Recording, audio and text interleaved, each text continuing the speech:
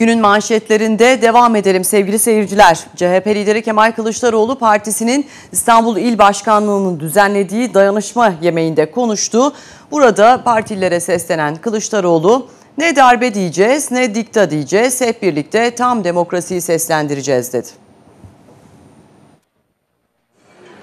Korkunun egemen olduğu bir Türkiye'den özgürlüğün egemen olduğu bir Türkiye'ye Türkiye'yi taşıyacağız. Oraya götüreceğiz bütün vatandaşlarımızı. Onun mücadelesini vereceğiz. Önümüzdeki süreçte çok daha ağır baskılarla karşılaşabiliriz. Çok daha ağır eleştirilere muhatap olabiliriz. Ama bunlar asla ve asla bizi inandığımız yoldan geri döndüremeyecektir. Biz mücadelemizi hak için, adalet için, kadın erkek eşitliği için, özgürlükler için, bağımsız yargı için ve en önemlisi halkımız için yapacağız. Ne darbe diyeceğiz, ne dikta diyeceğiz. Hep birlikte tam demokrasiyi seslendireceğiz. Hiç kimseyi ötekileştirmeden, hiç kimsenin inancını, kimliğini, yaşam tarzını eleştirmeden, her farklılığı zenginlik kabul ederek bu ülkeye huzur getirmek için birlikte çalışacağız. Birlikte mücadele edeceğiz. Cumhuriyet Halk Partisi'nin önceki genel başkanı ve Antalya Milletvekili Deniz Baykal'dan başkanlık sistemi tartışmaları ile ilgili yeni açıklamalar geldi. Son 15 yılda Türkiye'de yaşananların herhangi bir demokratik rejimde doğal karşılanacak olaylar olmadığının altını çizen Baykal, Türkiye'de karar alma süreci bir şahsın gelgitlerine, anlayış çerçevesine teslim ediliyor olduğu için bugün parlamenter rejimi işletemiyor. Şimdi bunu başkanlık rejimine çevirdiğiniz zaman bu keyfi ve şahsi karar alma daha da cesaretlendirilecek, daha da meşrulaştırılacak, hukuki kılıfa kavuşturulacak dedi. Bizim bu son dönemde, son 15 yılda birbiri ardından tanık olduğumuz olaylar ne Türkiye tarihinde tanık olduğumuz ne de herhangi bir demokratik rejimde doğal karşılanabilecek türden olaylar değildir. Türkiye'de siyaset şirazesinden çıkmış konumdadır arkadaşlar. Bir bölgesel iç savaş sürecinin içinden geçtik. 300 binin üzerinde kendi vatandaşımızı ilçesinde, köyünde, sokağında, mahallesinde bırakın demokratik hak ve özgürlükleri can güvenliği içinde yaşayabilir halde tutamadık. Böyle bir olay demokratik bir ülkede olsa kıyamet kopar. Ne iktidar kalır ne de iktidardakiler kalır. Fiili durum var. Fiili bir durum var. Anayasanın öngördüğünün dışında, ötesinde bir uygulama var karşımızda. E, yani bunu zorlamayalım, rahatlatalım. Ne yapalım? Fiili durumu hukuki durum haline getirelim. Ne gerekiyorsa, ne icap ediyorsa yapalım. Değerli arkadaşlarım, şunu herkes çok iyi görsün. Fiili durum demek, hukuka karşı durum demektir. Yani hukuka ters durum demektir. Hukuku çiğneyen durum demektir. Fiili durum hukuk dışı durumdur. Yani eğer anayasa ile ilgiliyse fiili durum ki olayımızda öyle anayasal suç söz konusudur. Anayasal ihlal söz konusudur.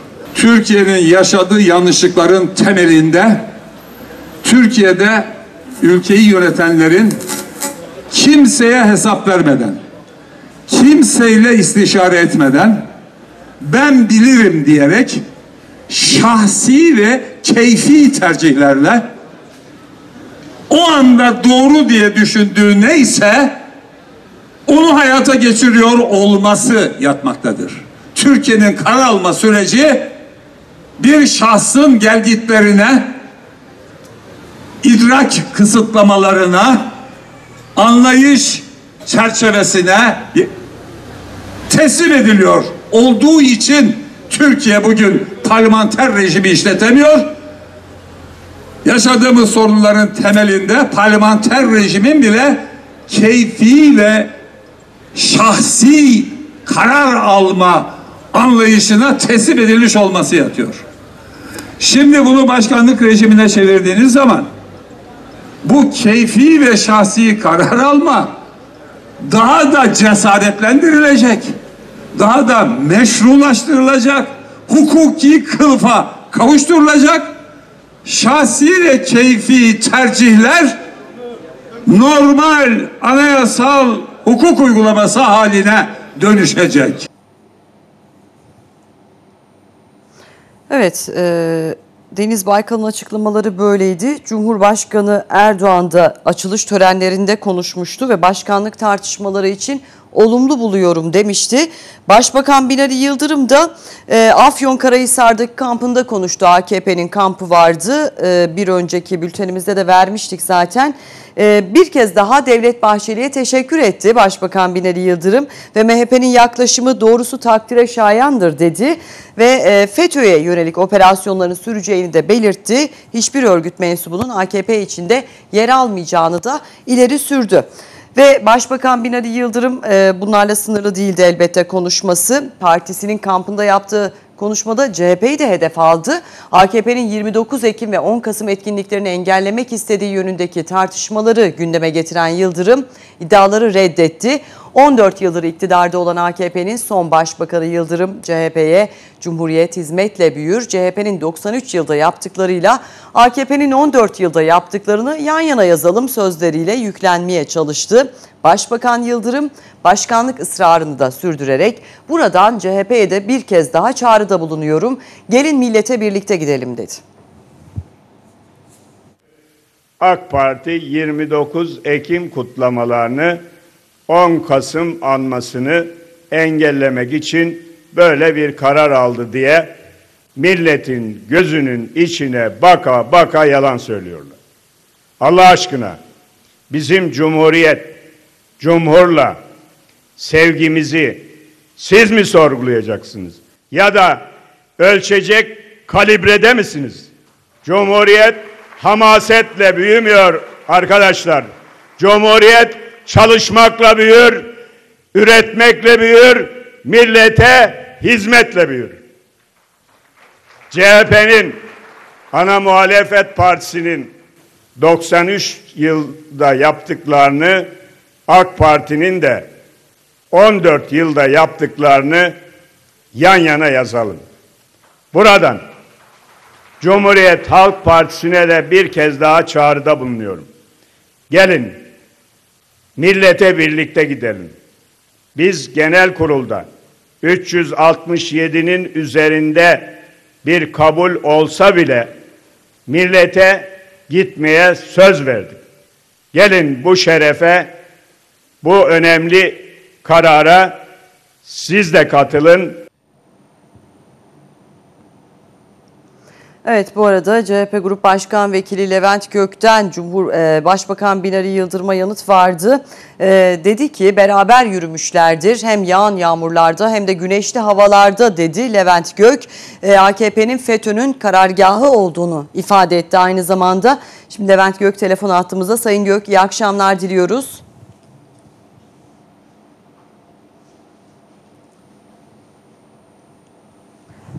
Evet telefon bağlantımızda. Sayın Gök iyi akşamlar. Evet tekrar döneceğiz hemen. Neler dedi bir bakalım. Ee, Başbakan Binali Yıldırım'ın biraz önceki konuşmalarında sevgili seyirciler Afyon Karahisar kampında e, CHP'nin hiçbir milletvekili dedi Levent Gök e, hiçbir yöneticisinin FETÖ ile bağlantısının ortaya konulamayacağını belirtti. E, Başbakan Binali Yıldırım e, CHP'ye 93 yılda yaptıklarıyla AKP'nin 14 yılda yaptıklarını yan yana yazalım sözleriyle yüklenmeye çalışmıştı ve e, elbette daha önceki açıklamasında da e, FETÖ'ye yönelik operasyonların süreceğini ve AKP içinde yer alamayacağını da belirtmişti. Evet Sayın Gök iyi akşamlar. İyi akşamlar Elif Hanım. Evet dediniz ki bugün Başbakan Binali Yıldırım esip gürledi dediniz. Evet. Ee, şimdi zaten hani bu FETÖ operasyonları konusunda özellikle e, birçok eski konuşmalar yayınlanıyor, itiraflar yayınlanıyor ama işte hep e, biz o zaman kandırılmışız, aldatılmışız ifadeleri de var ne yazık ki. E, neler söyleyeceksiniz? Şimdi beraber yürümüşlerdir hem yağan yağmurlarda hem de güneşli havalarda diyorsunuz. E, Buyurunuz. Şimdi Elif Hanım, e, AKP iktidarı e, 15 Temmuz'un e, yarattığı tahribatı, travmayı iyi kavrayamamış benziyor. E, o gece önlenmiş olan o darbe teşebbüsünün altında bütün partilerin, e, herkesin, bütün yurttaşlarımızın can siperhane duruşları vardır. Ve 15 Temmuz'dan sonra bir e, siyaset dilinin değişmesi gereken bir siyaset dilinde e, iktidarın Türkiye'yi e, atlatılmış olan bir tehlikeden sonra daha bir e, sığ bir limana çekmesi, bütün partilerle bir uzlaşma kültürü içerisinde Türkiye'yi yönetme anlayışına daha iyi varması gerekirken bundan giderek uzaklaştıklarını, otoriter bir yanını, keyfi bir yönetim anlayışını ortaya kayma, koymaya başladıklarını görüyoruz ne yazık ki. Şimdi böyle bir tablo içerisinde Türkiye'nin derhal kutuplaşmadan uzaklaşarak uzlaşma kültürünü yaşaması gerekirken daha darbe teşebbüsünün e, ölenlerin kanlarının yerde kalmadığı bir ortamda e, İktidar Partisi'nin bir anda Türkiye'yi kutuplaştıran e, uygulamalarla karşı karşıyayız. Şimdi Türkiye'de yoksulluk almış başını gidiyor. Dış e, politikler çökmüş durumda.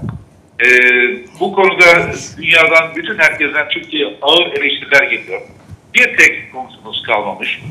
Eğitim felç olmuş Türkiye'de. Evet. İyi, iyi giden okullarda dahi öğretmenler e, başka yerlere sürülerek veliler ayakta, öğrenciler ayakta, öğretmenler ayakta.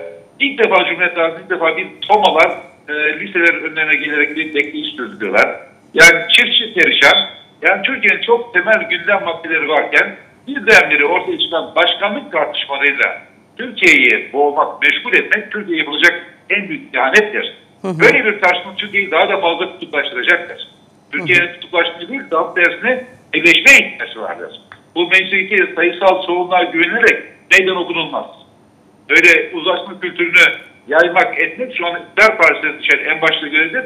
Bundan giderek uzaklaştıklarını görüyoruz. Bu nedenle gittikleri yolun çok tehlikeli olduğunu görüyoruz.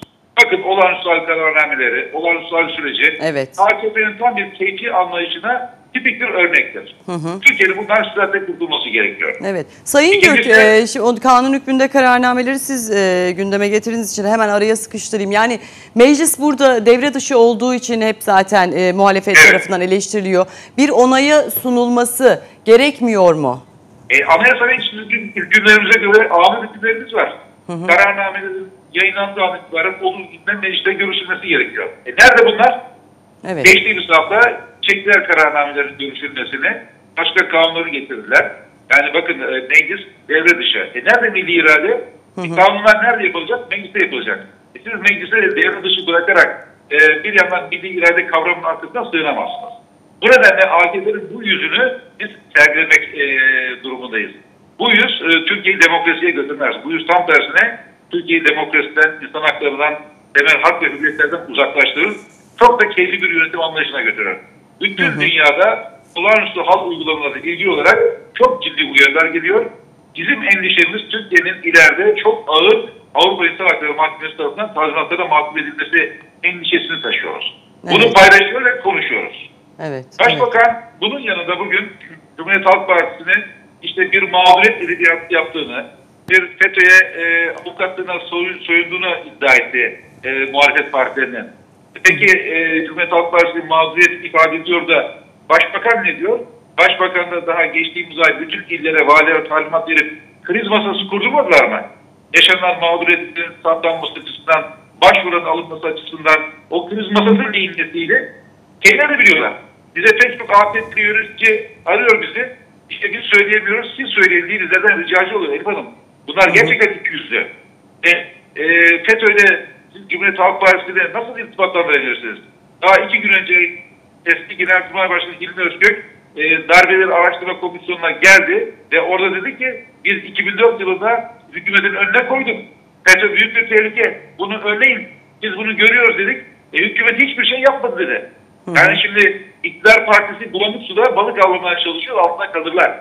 E, FETÖ'nün karargahıdır. Eğer AKP yöneticiler FETÖ'yü arıyorlarsa önce aynaya baksınlar. Bu aynaya baktıklarında FETÖ'nün tam kendisini görürler.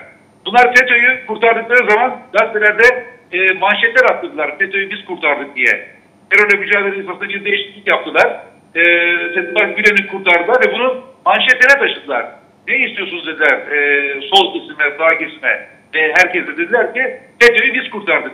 Kıvanç bunu anlattılar. Dışişleri Bakanlığı bütün e, kendi personeline dışlarındaki e, temsilciliklerimize yazı gönderdi.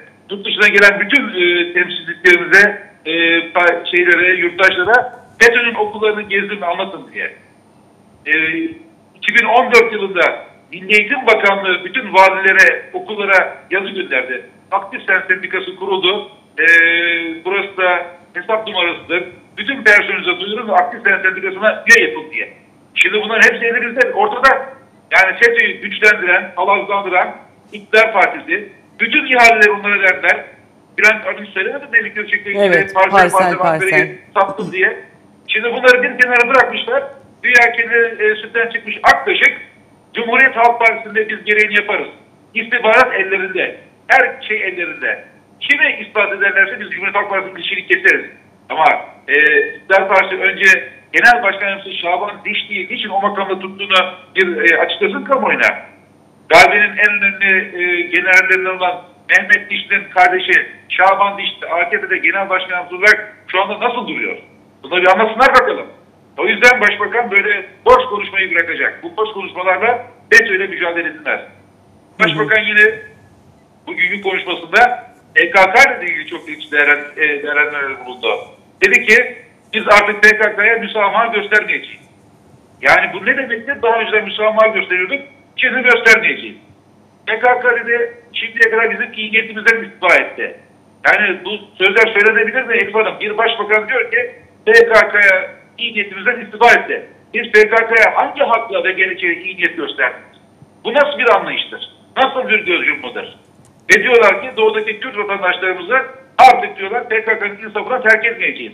E demek ki Türk kökenli yurttaşlarımız Doğu'da, Güneydoğu'da PKK'nın insafına terk edilmişti. Yani bir devlet aklına bakar mısınız? Devlet mantığına bakar mısınız? Hı hı. Bir kökmüş bir yönetim anlayışı içerisinde nereye savundukları belli değil, ne yaptıkları belli değil. Bütün bu e, Türkiye'nin yaşadığı ağır sorunlar karşısında varsa yoksa başkanlık. Böyle bir tablo Türkiye'ye ihanettir. Böyle bir tablo içerisinde Türkiye kutuplaşacaktır, ayrışacaktır. İktidar evet. Partisi buna dikkat etmesi gerekirken bunu tekrar MHP'nin desteğiyle ısıtarak tekrar önümüze, gündemimize getirmesi Türkiye'ye yapılacak en büyük kötülüktür. Evet. Türkiye'nin şu anda bir uzlaşma kültürü içerisinde demokrasisini, standartını arttırması gerekiyor. FETÖ'yle mücadelede sağlıksız mücadele gerekiyor. Bu konuda biz Cumhuriyet Halk Partisi olarak elimizden gelen her türlü gayret gösteriyoruz. Ama İktidar Partisi'nin keyfi diktatörü anlaşılığında karşı olduğumuzu her yerde ifade ediyoruz. Peki efendim çok teşekkür ediyoruz Sayın Gök. Türk Silahlı Kuvvetleri tarafından e, başlatılmıştı Fırat Kalkanı Harekatı 60. gününde ve IŞİD'in 53 PKK-PYD'nin de 70 hedefi karadan ve havadan imha edildiği yönünde bilgiler var. Bir taraftan e, YPG'ye karşı Türk tanklarının Hatay'dan Suriye'ye girdiği iddia edildi. Bu da önemli bir başlıktı ve Kerkük'te çatışmalar devam ediyor. E, buna ilişkin daha önceden IŞİD'lilerin tüm IŞİD'lilerin kentte öldürüldüğü duyurulmuştu. Ama e, sokakta çatışmalar tekrar başladı ve bir taraftan da Ashton Carter'ın açıklamaları vardı. Şimdi güvenlik analisti Abdullah Ağar'a bir dönelim. Sayın Ağar iyi akşamlar. İyi akşamlar efendim, saygılar, iyi yayınlar. Sağ olunuz. Evet şimdi e, Fırat Kalkanı'nda 60. gündeyiz dedik ve e, 53 IŞİD'li PKK, PYD'nin de 70 hedefi vuruldu dedik. Bir taraftan da tabii çok önemli gelişmeler var. Kerkük'te yaşanan e, çatışmalar devam ediyor. E, burada biraz önce de aktarmıştım tüm IŞİD'lerin öldürüldüğü duyurulmuştu. E, çatışmalar sürüyor. Bir oradan başlayalım isterseniz buyurun. Şimdi e, elbette Musul, e, Musul'un Kerkük'e etkisi ve e, Kerkük üzerine oynanan oyunlar. Yani sadece e, DAEŞ'in e, Musul'da ortaya koymuş olduğu e, etkinin bir yansıması olarak hatta e, Musul'da ortaya çıkan e, kuvvet çarpanlarına e, karşı bir etkisizlik e, aşılamak için böyle bir harekete mi girişti? Evet. Yoksa e, bir başka oyun mu dönmeye başladı? Öncelikle sanırım bunu görmemiz gerekiyor. Bir de e, hemen e, burada bir şey de parantez içinde ekleyeyim ona ondan sonra devam edelim. Bir de PKK'nın Kerkük'te görüntülenmesi e, var. E, görüntüler de var. E, bu da bunu da soracağım size. Buyurunuz. Şimdi e, gece saat 3'ten itibaren, dün gece saat 3'e itibaren etkisi ortaya çıktı. Yani ilk önce e, özel e, müdahale polis müdürlüğü'nün vurdu. Sonra e, kent eğitim müdürlüğü'ne vurdu. E, kentin iki büyük otelini ele geçirdi. Karakollara saldırdı. Bazı karakolları ele geçirdi. Karakollardan e, karakol polislerinin kaçtığı gözüktü ve keskin nişancılar e, ve bütün işitlerin hepsinin üzerinde e, bombalı kemerler. E, bu fotoğraf iyi bir fotoğraf değil. Çünkü şöyle bir soruyu e, doğal olarak akla getiriyor. E, uyuyan hücre deniyor. Evet. Ama bakıldığı zaman e, bunlar hiçbirisinin uyuyan hücre kimliği taşımıyorlar, görüntüsü taşımıyorlar. Hepsi çatışma alanlarında boy gösteren e, e, işitli teröristler. Şimdi bunlar kente nasıl girdiler? Kimler bu kente, bu kent buraya girmesine izin verdi veya nasıl büyük bir zafiyet var ki bu kadar çok işitli ve Kerkük içerisinde bir anda boy göstermeye başladı. Şimdi sanırım e, Elif Hanım bu sorunun cevabı bundan sonraki süreçte e, Kerkük'te ortaya çıkan fiili durumla ilgili. Bakın bu işitin malum ortaya koymuş olduğu etki bazı gerekçelerle gerekçe üretti. Bu gerekçeyle beraber Kerkük'ün içerisine Haçlı Şabi milisleri girdi. Taze e, tutulması da. Bir diğer tarafıyla Süleymaniye'den e, silahlı, ağır silahlı peşinler güçleri girdi. Şimdi bu iki yapının da e, temel bir karakteri var. Evet Haçlı Şabiler 16. işte Livadi ifade ediyor. Başlarında işte bir Türkmen var. Türkmenlerden oluşan bir yapı ama bilindiği üzere karakteri Şii bu yapının. Şimdi bu yapı e, kabul etsek de etmesek de bir şekilde İran etkisi altında. Bir diğer tarafıyla Süleymaniye'den gelen kuvvetler de yani KYB peşmergeleri de bir şekilde İran etkisi altında. Yani İran'da çok ciddi anlamda markajcılar. Şimdi biz bir anda şeyi konuşurken yani Mus Musul'da acaba işte İran etkisi, Haçlı Şabi etkisini falan konuşmaya başlarken bir anda Kerkük'te bu sefer çok daha etkili bir İran etkisiyle karşı karşıya kaldık. Bunun oldukça önemli olduğunu düşünüyorum. Yani üzerinde kafa yorulması gereken temel konulardan bir tanesi. Şimdi bu esnada çok bambaşka bir hamle daha geldi. Amerika Birleşik Devletleri'nin e, veya, veya koalisyon uçakları diyelim. Koalisyon uçakları Kerkük'teki Kerkük şirketleri bombaladılar. Bu da yetmedi. E, tavuk da yani e, Dakuk diye ifade Dakuk, ediliyor. hı hı. Orası da e, Şii Türkmen bölgesi. Orada bir bombardıman yaptılar ve orada ciddi anlamda bir zaya türedi. Ve e, taze hurmatlı oldu. Orası da Türkmen beldesi, Şii Türkmen beldesi. Orada da bir etki oldu. Şimdi bunların hepsi e, çok farklı şeyler. Yani bizim şu andaki var olan ezberlerimizden öte olan şeyler. Şimdi bunlar neden oldu? Evet. Bu sorulara öncelikle cevap buluyor olmamız gerekiyor. Çünkü konu doğrudan doğruya bizim oradaki Türkmen varlığımızı ilgilendiriyor, etkiliyor. Çünkü sonuçta Kerkük evet bugün demografik yapısı bozulmuş olsa dahi bir Türkmen kenti ve bu Türkmen kenti kentindeki bizim Türkmenlerimizin büyük bir mağduriyetleri var. Yani şimdi Irak'ın üçüncü kuru, e, üçüncü e, ana unsuru oldukları halde e, bu şu ana kadar hiç e, haklarıyla ilgili bir gündem oluşmuş değil. İşte e, Araplar arasında bir mezhebi kavga, Araplarla e, iş, e, Kürtler arasında bir etnik kavga ve ama arada e, Türkmenlerin hiç adı yok. Türkmenlerin hiç hakkı yok. Konuşulmuyor. Şimdi böyle olunca e, doğal olarak o fotoğraf bizi ilgilendirdi. Bir diğer tarafıyla da e, bir temel gerçek var. Yani dünyanın en önemli e, petrol rezervleri, doğal rezervleri Kerkük'ün altında. Yani dünya petrol rezervi yüzde iki ila yüzde için Kerkük'ün altında olduğu ifade ediyor ki bu olağanüstü büyük bir rakam. Ya, hani değişik veriler var petrol fiyatlarıyla e, şey yapan yaklaşık 2 trilyon dolarlık bir petrol rezervi var. Ya bunların hepsi ortaya çıkınca paylaşılamayan bir kente dönüşü veriyor Kerkük. Evet. Evet şimdi e, tabii çok sayıda e, Şii Türkmen'in de e, yaşamını yitirdiğini de belirtelim e, bu saldırılarda. E, ayrıca siz de e, sizin yazınızda da vardı. Ö- özellikle kadınlardan e, çok fazla sayıda ölenin olduğunu belirtmiştiniz. Şimdi bir taraftan bunlar olurken e, PKK Kerkük'te görüntülendi e, Sayın Ağar. Bunu nasıl yorumluyorsunuz? Yani PKK'lı teröristlerin peşmergeye destek olmak için kente girdiğine dair fotoğraflar var. Şu an ekranımızda onlar da. E, dünkü Kerkük saldırılarının ardından. Neler söyleyeceksiniz? Ee, bu e, şey Dağış kaosuyla birlikte e, PKK e, büyük bir etki üretmeye başladı Irak'ta. Önceden sadece e, bize yakın kamp alanlarında yani Sinat, Hafter'in, Zap ve Hakot genel kamp alanlarında Kandil'de vardılar. Ama bu Dağış e, terörün ortaya çıkmasıyla beraber Şenler'de büyük bir varlık ürettiler yani Sincar'da.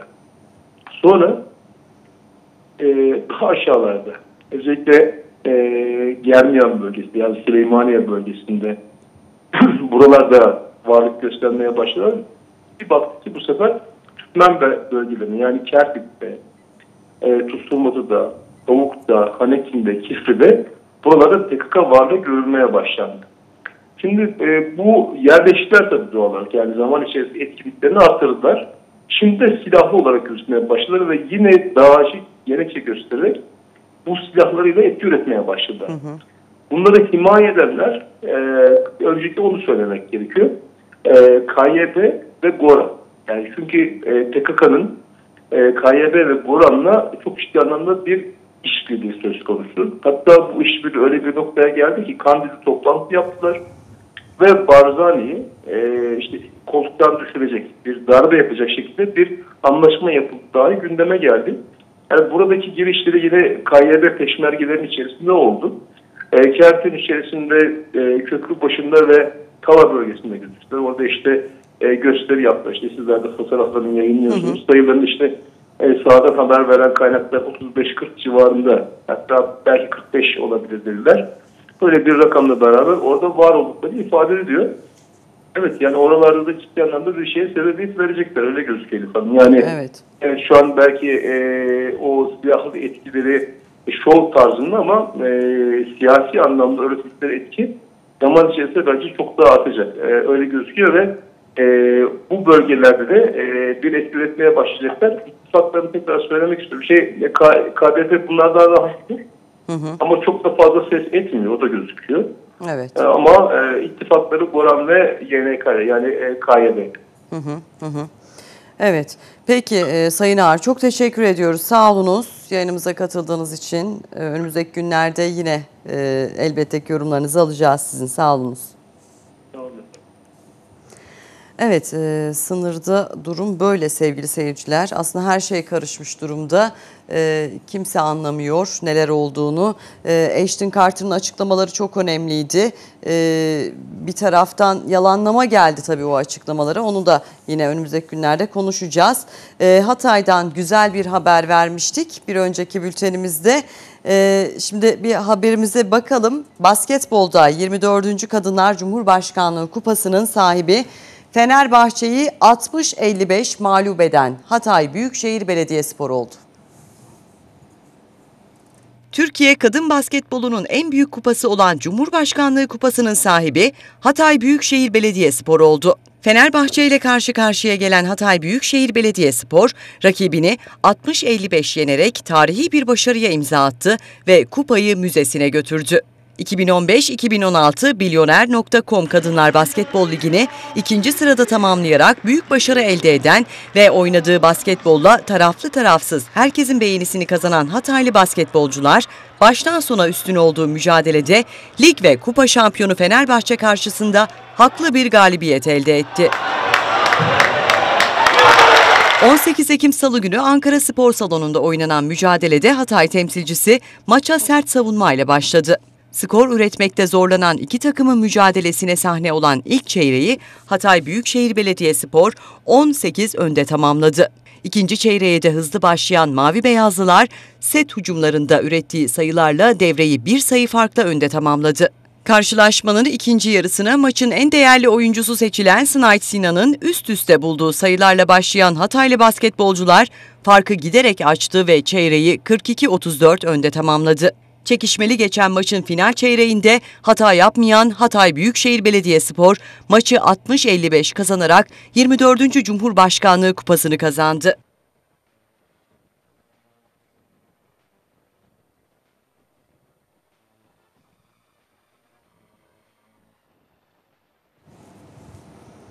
Evet şimdi Hatay'a gidelim. Hatay Büyükşehir Belediye Başkanı Lütfü Savaş telefon attığımızda. Sayın Savaş iyi akşamlar.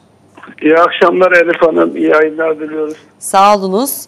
Ee, Hatay'ın hedefleri daha da büyüyor e, diyelim. E, öncelikle kutluyoruz tabii. E, tebrik Teşekkür. ediyoruz biz de.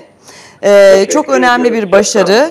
Ve tabii bunun devamını e, da diliyoruz aynı zamanda.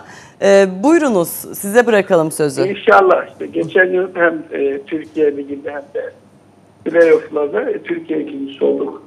İşte geçen salı günü e, Fenerbahçe'de Cumhurbaşkanlığı kupası oynadık. E, bizim gençler çok iyi hazırlanmıştı o maça. Sek- e, 60'a 55 galip geldik.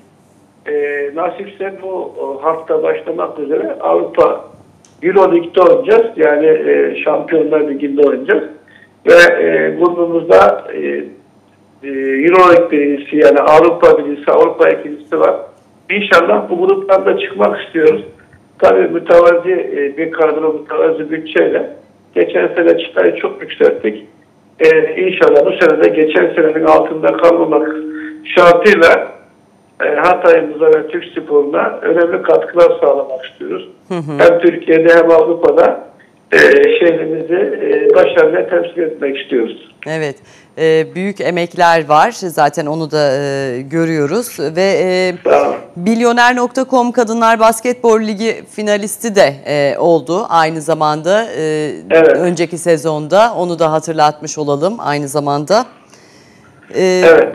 Ve tabii e, Cumhurbaşkanlığı kupasını da şimdi Fenerbahçe gibi büyük bir camianın e, önünde de galip gelerek almak ayrı bir durum olsa gerek değil mi sizler açısından? Tabii şimdi büyük bir camia. E, bu camianın karşısında e, Hatay, Misterhat ilinin e, öncelikle bu kupada karşı karşıya gelebilmesi bile büyük başarı. Evet. E, tabii e, finali de alması daha da büyük başarı. E, tabii ki biz e, özellikle e, büyük bir kulübümüzden e, bu konu, bu karşılaşmada birlikte olduğumuz e, maçı kazandığımız için çok gururluyuz. E, Fenerbahçe tabii Türkiye şampiyonu olmuştu. Playoff'larda ligde birinci olmuştu. Biz de Evet. bu kupayı alarak, en büyük kupayı alarak e, şehrimizi sevindirdik.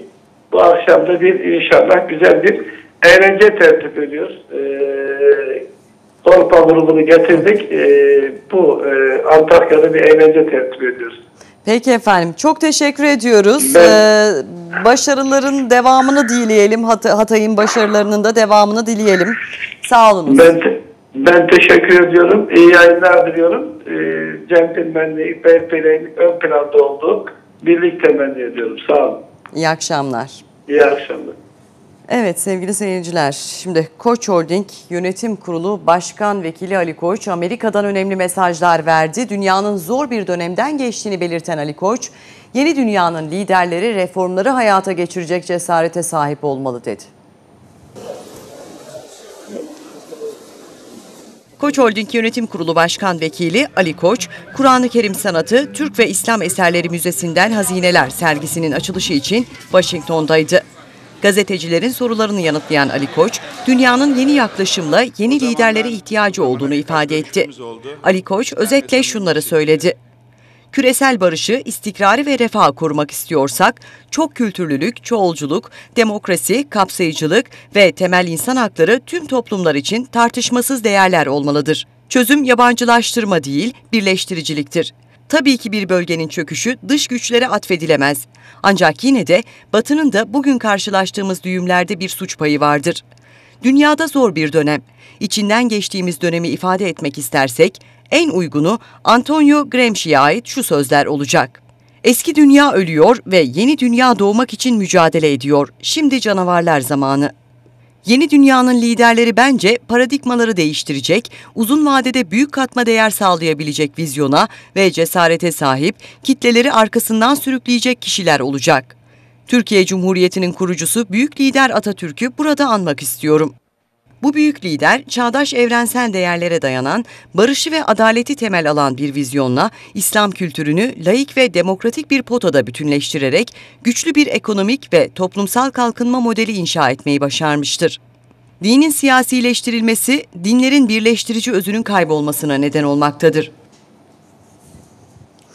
Evet günün manşetlerini de burada noktalayalım. Sözü saat başında Tayfun Talipoğlu'na bırakıyoruz. Sohbethane sizlerle olacak. Biz gene gece 23'te sizlerle olacağız. Hoşçakalın.